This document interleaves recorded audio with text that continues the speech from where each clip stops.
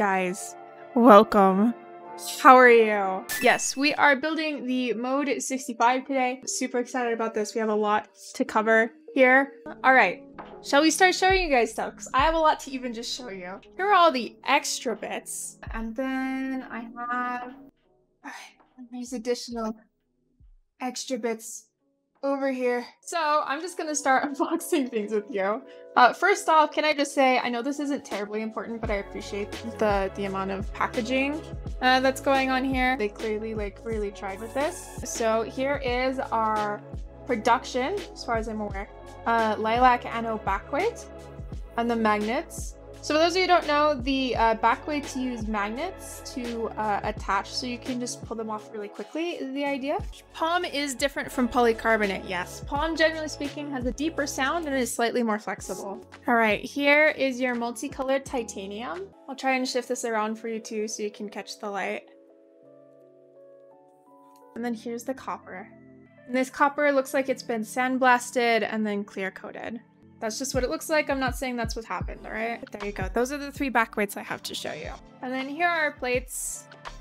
So we will be building with the POM and the carbon fiber with those Konpeitos. But here is our carbon fiber plate.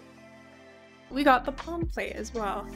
So I got the black POM. There shouldn't be uh, a sound difference really between black and white POM. But I figured most people knew what a white POM plate looks like, so here's the black. It's got like a, a matte texture. POM versus FR4 FlexWise. POM is probably the most flexy plate material in my opinion. FR4 is kind of middle of the path. And then here's that copper plate. I'm going to catch the light so you can see it in different lighting. I do have pretty harsh direct lighting going on. So there you go. Now, the next part you guys probably want to see are the bottom pieces.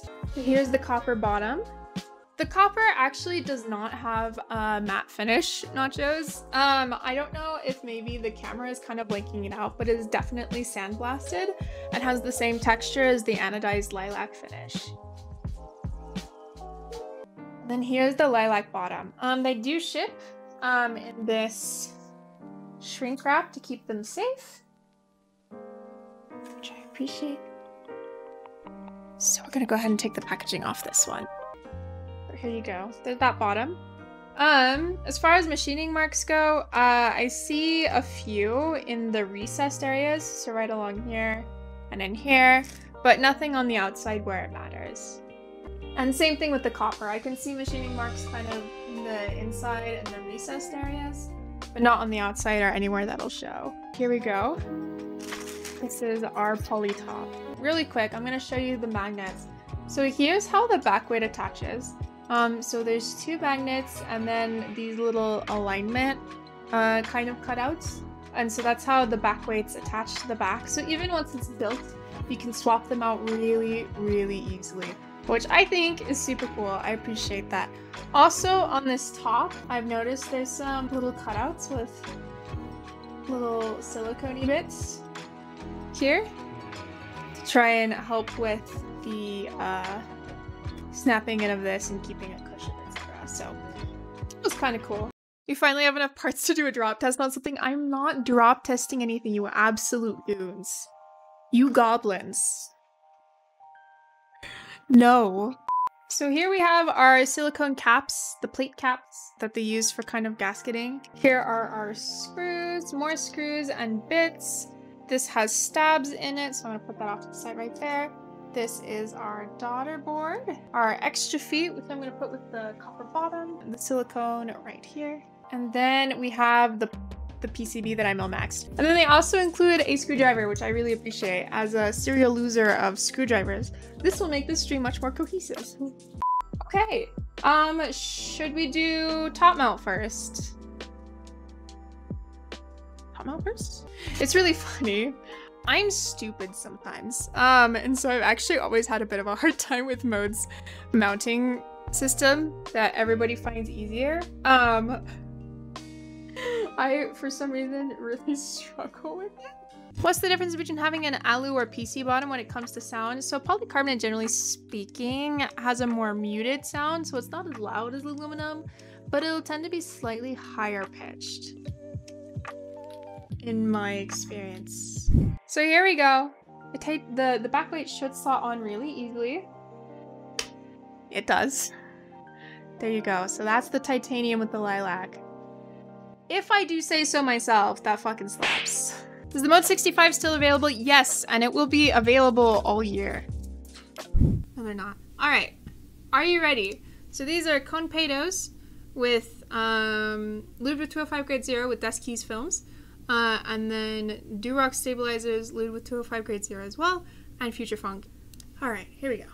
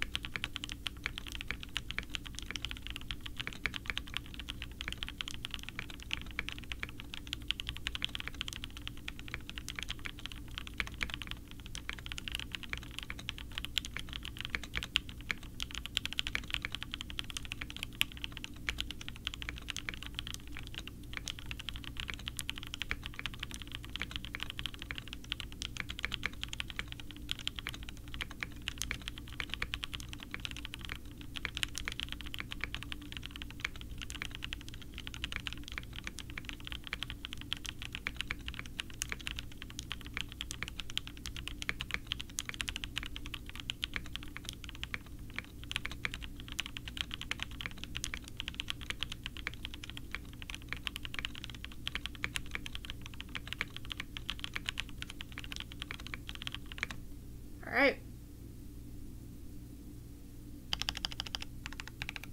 Yeah, key needs a little bit of help.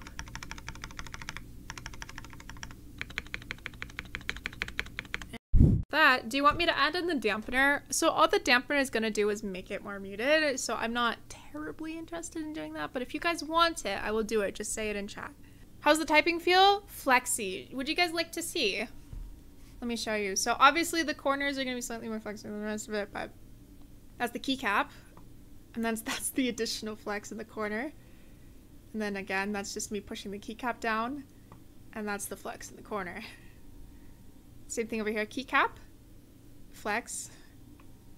So keycaps down and then flex. You can see the plate and the poly. That's partially why I got the poly. You're very welcome. Um, there you go. Lots of flex. But yeah, this is this is from again the middle row right here, home row. Wee, wee, All right, and then here's what it looks like with the lilac back piece. So here's the fitment of all of that for those of you who are asking. I'm gonna angle this up toward the camera.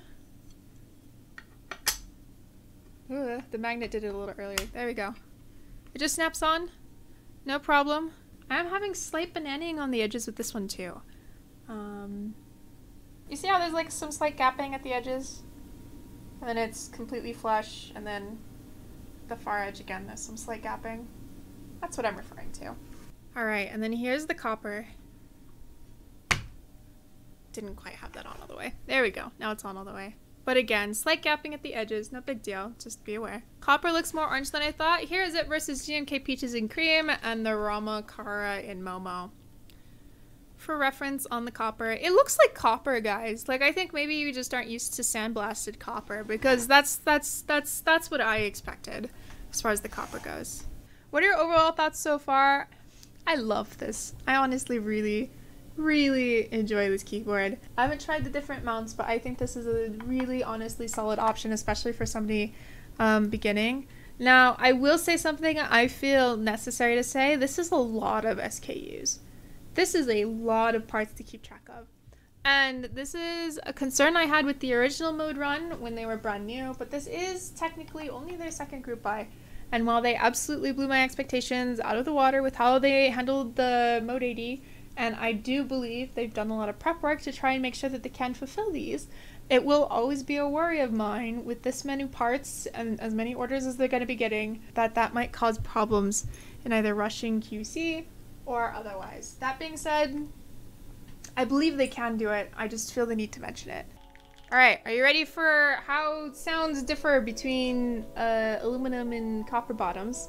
You're gonna like the copper bottom more, I'm just gonna tell you right now. So this is the copper bottom. Everything else is the exact same as the aluminum test. We literally just swapped it out really quick. All right, here we go.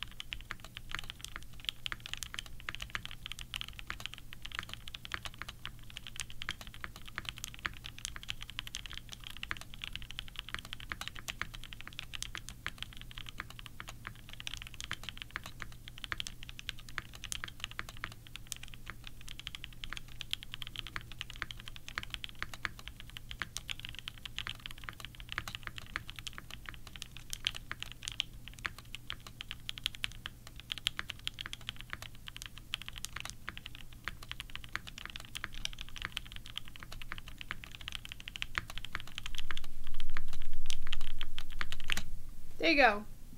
So again, same mount as our aluminum typing test, uh, just different bottom. This is the copper instead of the aluminum. How much does the top sound affect versus the bottom? In my opinion, the bottom affects sound more, but that's my opinion. It will definitely have a significant effect on sound, just like the bottom it did. It's just, in my opinion, the bottom slightly affects it more. Final thoughts? Final thoughts. I really, really enjoy typing on this. I love that there's a, bunch of different ways you can use it. I love that it's really accessible. I love the options. Um, I have a little bit of a struggle getting that back piece on, uh, but that's really my only complaint, I guess. Uh, that and like the slight bending that I found on my back way. I'm going to double check with the mode guys and make sure that I wasn't putting it on incorrectly. That is a potential explanation. I don't see how I would have been putting it on incorrectly. Like I checked to make sure it was all snapped in, etc. But it is possible. Uh, I think those are my only two really real complaints. Beyond that, I, I really enjoyed typing on this and building this, and I really, really like it, and I would absolutely recommend it. Uh, and again, make sure you're subbed to the YouTube if you want to see the YouTube typing test and or review. Um, I did have a mode unboxing, so if you want to see the packaging for everything here. Um, I did that on my TikTok, and I will additionally be doing, um, hopefully, fingers crossed, typing tests over there. Probably, unless I decide not to, but probably. Um, and uh, yeah, that's all I got. Goodbye, friends.